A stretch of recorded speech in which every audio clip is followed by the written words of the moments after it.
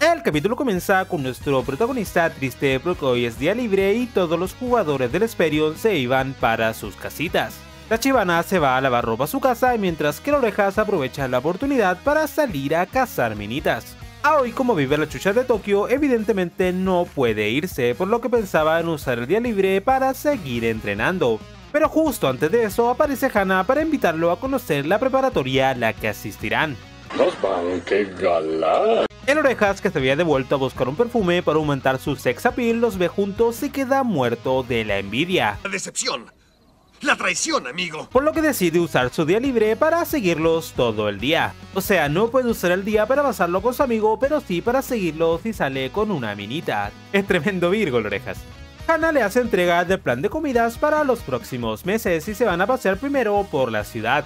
Mientras Aoi le compra un heladito a Hana, aparecen unos buitres para tratar de levantarle la minita, pero nuestro prota vuelve y los espanta. ¡Ella es mi novia, estúpido!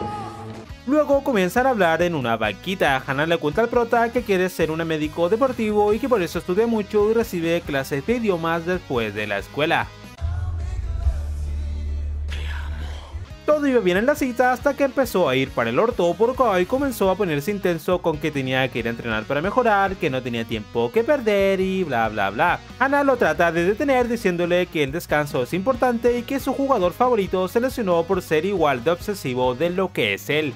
Ante esto, hoy se enfurece y le dice que... No digas mamadas, Mary Jane. Después se pone bien hijo de puta y le dice que deje de hacerle dietas y weas y que nunca será como su jugador favorito. Básicamente que deje de romperle los huevos.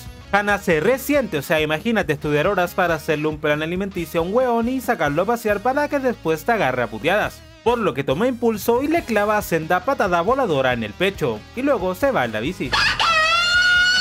Orejas, que lo estaba siguiendo, hace su aparición solo para burlarse y decirle que ya sabía que él no podía ser tan popular con las chicas. Pasan los días y comienzan las clases. A hoy le había tocado en el mismo curso que a Orejas, Yuma, Anri, el chino Asari y Togachi. Aoi andaba pensativo por el tema de Hana y porque tenía que resolver el misterio del por qué Kuroda y Asari seguían enojados con él, por lo que decide dejar de pensar y encarar a sus compañeros de una vez. Aoi les comienza a explicar todo lo que pasó por su cabeza durante el partido utilizando la pizarra.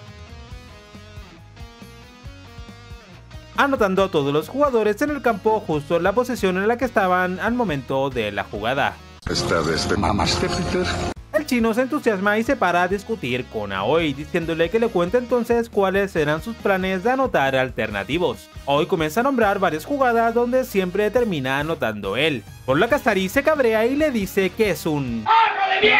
Que cómo puede ser tan egoísta y no pensar que el resto también puede anotar. Aoi también se recalienta y le dice que si por eso se enojaron con él, mejor que se vayan a la mierda, que un delantero debe vivir obsesionado con anotar goles y es a lo único que no puede renunciar. Porque es lo que Delantero. hace. Asari se reenoja también y le dice que como chucha un weón tan malo pudo entrar al equipo quitándole el cupo a sus amigos que venían de cadetes. Y ahí ya se armó tremendo bardo porque Orejas también se mete y todos terminan peleados. ¡Hijo de puta! Para rematar el mal día de nuestro prota, al final de clase se encuentra con el cara de orto y este, como para quitarle la presión, le dice que jugará de inicio en el próximo partido y que si no demuestra haber aprendido la lección que le encomendó, no jugará por tres meses. ¡Por un demonio, lo que faltaba! Y así es como termina el capítulo 10 de Aohachi. Si les gustó el resumen, no olviden dejar su like, comentario, suscribirse, activar la campanita y bla bla bla, ya que todo esto me ayudará mucho a hacer crecer este humilde canal. También les dejaré por aquí los otros capítulos resumidos de la serie y otros resúmenes de otros anime para que vayan a verlos si gustan.